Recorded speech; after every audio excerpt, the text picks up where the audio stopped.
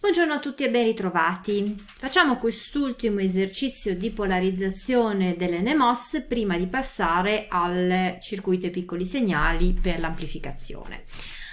Allora, mm, qua il circuito è semplificato, manca la resistenza di source, quindi non c'è RS, c'è anziché il partitore R1 e R2 una RGG e una, uh, un generatore di tensione VGG che mi fissa uh, il valore praticamente della tensione di gate. Ovviamente non essendoci assorbimento di corrente sul gate, la RGG in realtà eh, a riposo non è attraversata da nessun tipo di corrente e quindi non ha caduta di tensione.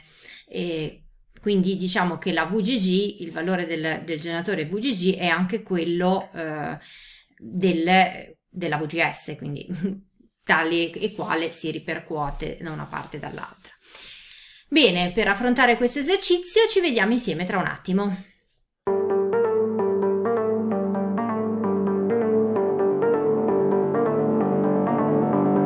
Bene, qua ho riportato i dati eh, già inseriti nel testo e poi quelli che mancavano, quindi l'alimentazione, il valore di VGG, di RGG e così via.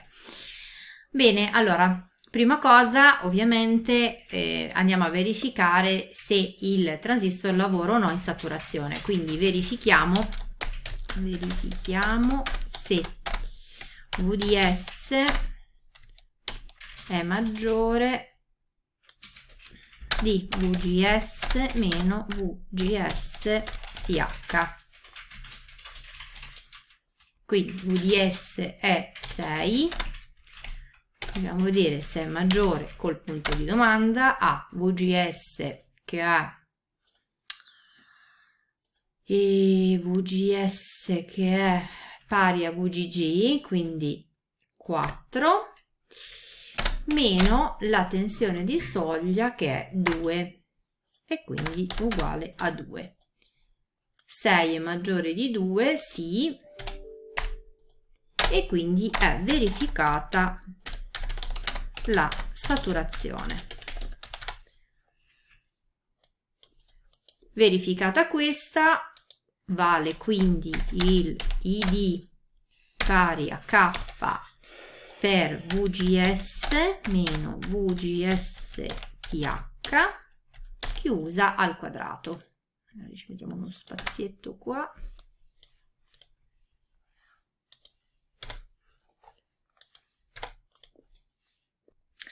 Andiamo a sostituire. Allora, 0,5 per 10 alla meno 3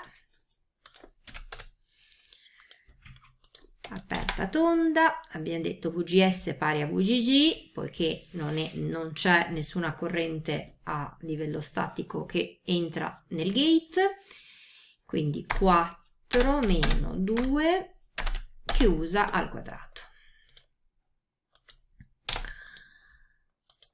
Allora, qua viene 4 meno 2, 2, 2 al quadrato fa 4 e 4 per 0,5 fa 2, quindi 2 mA. 2 mA. Ok, a questo punto ehm, andiamo a calcolare la RD, dove RD sarà uguale a la sua tensione che è VDD meno VDS e fratto la ID. Andiamo a sostituire.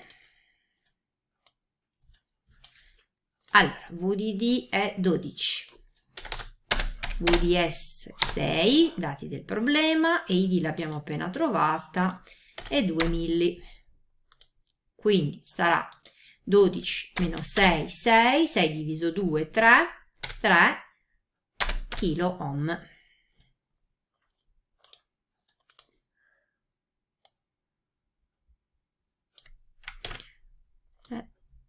kilo ohm. Ah, poi tra l'altro anche qua mancava un simbolo di ohm. Ok. E quindi questo è il valore eh, che c'è con questi dati della RD. Quindi il valore per cui VDS è 6 volt.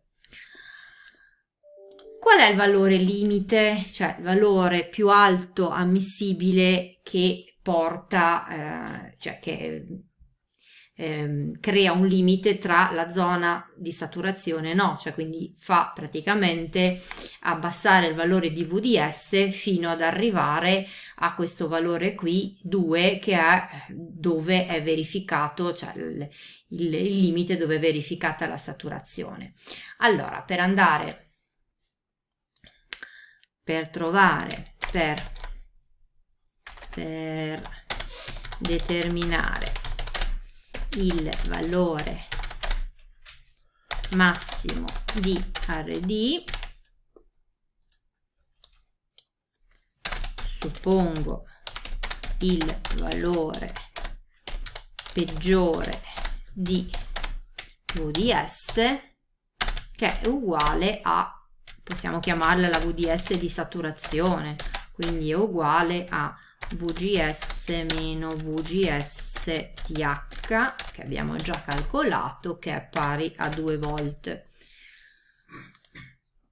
Quindi andando a ricavare il valore diciamo massimo andiamo a sostituire sempre in questa relazione col valore di VDS che abbiamo messo qua quindi il valore peggiore e l'id sempre uguale quindi avrò una VDD meno VDS SAT se vogliamo chiamarla o VDS minima insomma basta che capite che cos'è id che rimane uguale e quindi avremo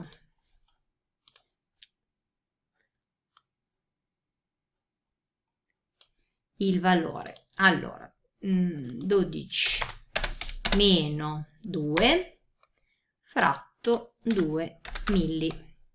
Quindi 12 meno 2 10 10 diviso 2 5 5k